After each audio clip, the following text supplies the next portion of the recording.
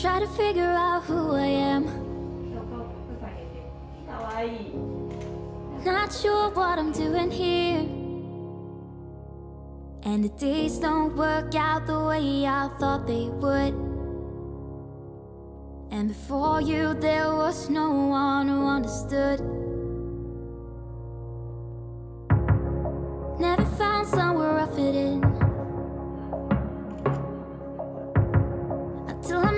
Was feeling lost. But you're the one who can make it go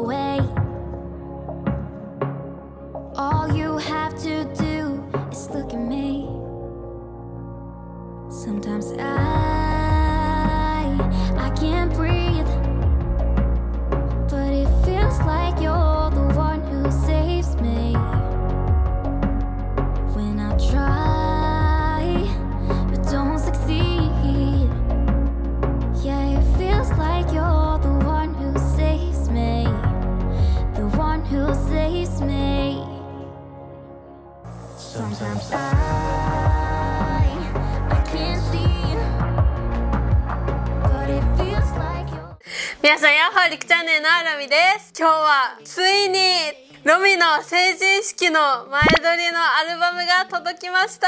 拍手できない。まあ皆さん多分知っての通りロミ来年成人式があるんですよ。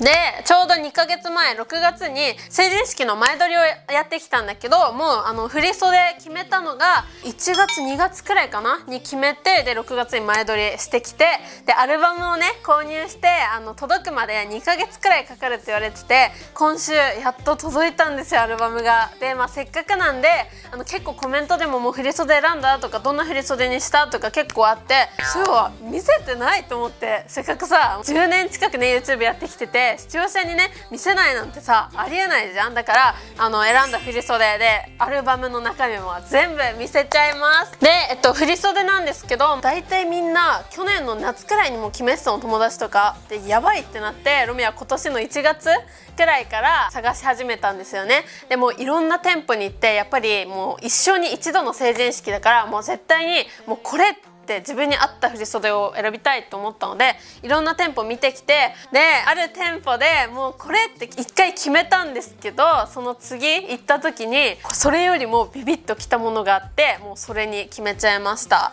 で振袖はねあの選んでで前撮りのね予定とかも決めて6月に行ってきました。前撮りめちゃくちゃねあのね緊張したんだけど楽しかったです。振袖とドレスあの着て撮影してきました。でルミが振袖選んだ期間ででプレゼントであのアルバムがついてきてたんですよ無料で。だからアルバム普通にもらってでそれ以外でその前撮り終わった後にじゃあどうしますかアルバムみたいになって。でやっぱりまあどこのねとこもそうだと思うんですけど買ってもらいたいからすごい圧がすごいんですよねマジで。でもともと無料でついてたからまあいらないかなと思ってたんですけどいろんなあの撮ったデータ120枚くらい撮ってそのデータを見せてもらってやっぱり欲しくなっちゃうんですよね。でその前撮りした時もお父さんね写真撮れるかなと思って自分の一眼レフカメラ持ってったんだけど写真撮影とか動画撮影がスマホでしかダメって言われちゃったのでもうあのその映像とかも全部スマホで撮ったんですよね。だからお父さんもデータ欲しいなってなって。でアルバムってめちゃめちゃ高いんですよ。今もう最初に値段言うとロミのアルバムは全データついてるアルバムなんですけどなんと10万円しました。やばいでしょ？思ったよりやばいでしょ？で一番安いアルバムでも、まあ、3万とか6万とかかな？でもそれはデータがついてないんですよ。本当にアルバムだけ。であの自分で好きな写真入れるだけだったんで、まあ、せっかくドレスも着て振り袖も着たから、まあ、データ欲しいよねってなっていろいろ相談して買うことにしたんですよ。最初いっかって思ったのもういいよって。もうこのアルバムもうもらえる予定だったからまあいいやってなったんですけどじゃあデータ何枚か買おうかってなったのね。データだけを。そしたらデータ写真1枚分で7000円だったの。で120枚あるじゃんデータ。だから7000円で、まあ、全部買ったらもうアルバムの値段超えるわけですよ。だからデータ買うよりもうこっちの方がお得です。あのアピールされて買っちゃいました。であともう一個ね皆さんに気をつけてほしいのはちゃんと振袖選ぶ時に前撮りの時のあの内容とかちゃんと聞いておいた方がいいと思います。振袖を選んだ時にドレス無料で着れますって言われておやったと思ったの。でそしたらその前撮り終わった後にドレス無料なんですけど来たから写真は買ってもらわないとダメですって言われちゃってもうそんなん、まあ、言ってたのか分かんないけど全然話聞いてなかったから本当にちゃんと話聞いて前撮りデータのこととかドレス無料って言ってるけどこれあの写真代払うのかみたいな皆さん話はちゃんと聞きましょう本当に。じゃあアルバム見せますか、まあ、これはね本当に数ページだけでやっぱりこっちのアルバムはもう届いてパパッと見たんだけどめちゃめちゃ綺麗。やばいよねマジで。買ってよかったなと思いました。データも全部ついてるし。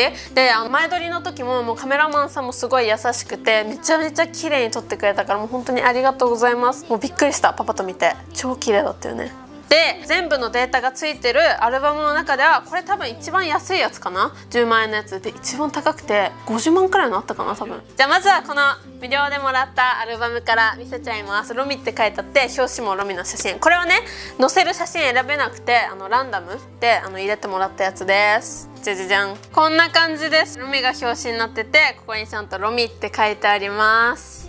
でこれがもうほんと数ページくらいなんですよ。じゃじゃじゃん。あでこれね前撮り撮ってデータとか見て思ったのがもうちょっと痩せとけばよかったかなって感じです。ちょっと25気になるんですけどまあ気にしないでください。はいこんな感じ。アルバムにしてはめちゃめちゃね綺麗になってますね。こんな感じ。これが振り袖の写真。ここっちはドレスの写真がありません。じゃーん。ほら綺麗じゃない？めっちゃここの柄とかさ。こんな感じです。でマジでめちゃめちゃ緊張したんですけど、まあ、いつも写真とか動画慣れはしてるけどやっぱり緊張したよね。あのプロのカメラマンさんとかに撮ってもらって。これで以上で本当に2ページくらいこれは。で写真選べないタイプだったんででもめちゃめちゃね綺麗ですね。こんな感じです。じゃあ一番メインの10万円のアルバムいきますね。でも表紙からしてすごい綺麗じゃない？ほら。もうツヤがすごいの。わかる？さっきのはなんかマットな感じだったんだけどもうツヤがすごいです。でここに「ロミ」って書いてあります。筆記体でね。じゃあ開けます。じゃがじゃーん。最初は振袖ですね。メインの写真。超綺麗。でも質感が違うのマジで。で2ページ目がまた振袖ですこれ座ってる。この枠がね綺麗なのここら辺のね。でもうツヤツヤだからもう触ったら指紋つきそうだからあんま触らないようにします。あ振袖がでも選んだのがこの振袖でなんだろうあの紺っぽいやつであの鼻がパラパラってなってる。青っぽいやつですね。白と青で下紺みたいな感じの振り袖にしました。もうこれビビッときてで帯も可愛いしでいろいろねあの襟とかにつけるやつとかも自分で選びました。マジお気に入りですこの振り袖。で1個最初これに決めたの。で次の週行ってでこれを見つけてこれにしちゃいました。皆さんどんな振り袖選びましたか？同い年の方ぜひ教えてください。で次のページ。じゃん。あ次も振り袖ですね。こんな感じ。もういろんなポーズで撮りました。でちゃんとねポーズも指示してくれるんですよね。だから本当に撮りやすかったしめちゃめちゃ楽しかったです。ほら。いいですね。であはい。で次からはドレスです。こんな感じ。ドレスロミね。いろいろあったの。赤とか青とか。でもロミもママももうこれ可愛くないみたいな。ドレス着る機会なんてなかったからもうめっちゃね嬉しかったですよ。はい。いろんなポーズで撮りました。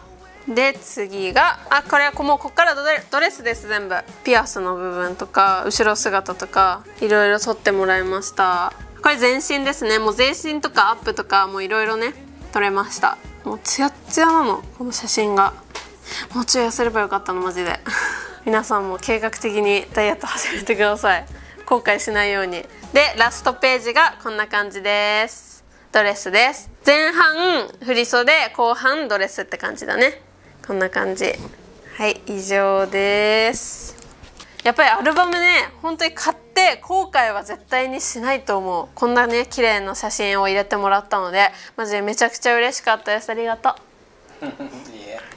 はいでまあ今回ね前撮り無事終わったんだけどこれから結構11月くらいに前撮りするっていう友達とかも多かったからあのルミはもうちょっと痩せればよかったなっていうのを後悔したので皆さん後悔のないようにしてください。い一生に一度のね前撮り成人式なのでね。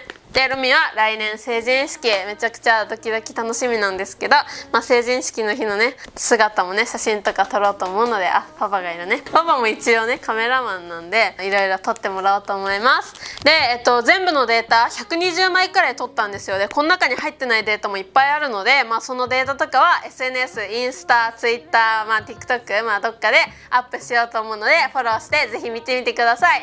じゃあということでまた来年のみの振袖姿見たいよと思った方グッドボタンチャンネル登録もよろしくお願いします。また次回の動画でお会いしましょう。バイバーイ。